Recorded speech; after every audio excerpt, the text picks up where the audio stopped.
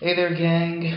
So, this is my first day back from suspension. If, if some of my subs didn't know, uh, I was suspended for two weeks after a false flag campaign against me, uh, mainly by uh, Muslims, but also by, uh, I guess, anti-Israeli activists, maybe some anti-Semites.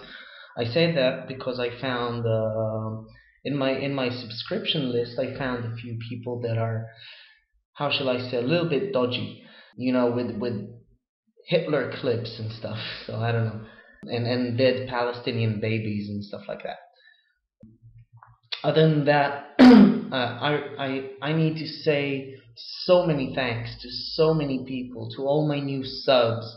Um, but there there's one person that I really wanted to thank, and it turns out that his entire channel got suspended.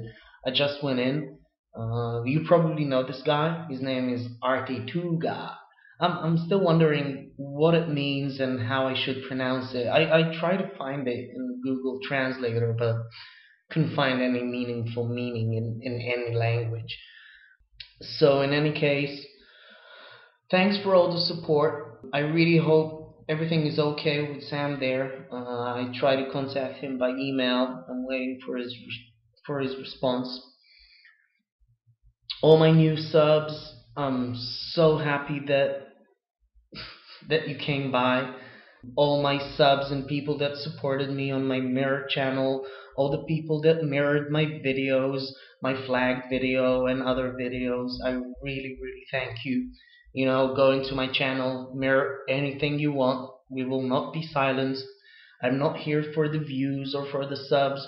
I want the truth out there, and you can help by mirroring and spreading the truth.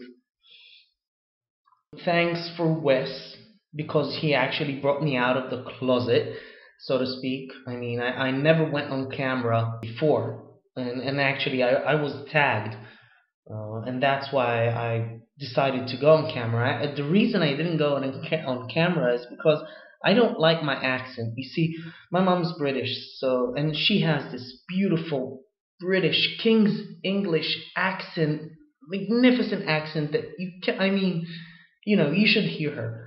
And growing up with Americans and Canadians and Israelis, I got this weird mixture of, of so many different accents that I don't know. I mean, I can't listen to myself anymore.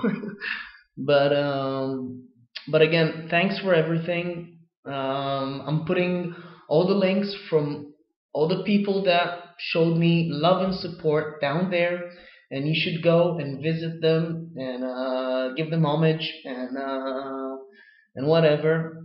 And you know, I, I really love you guys. Even met a few interesting Muslims that kind of try to make amends between me and their religion, though I I mean you can't make amends with a religion, you know. So, peace, love, harmony. Bye bye.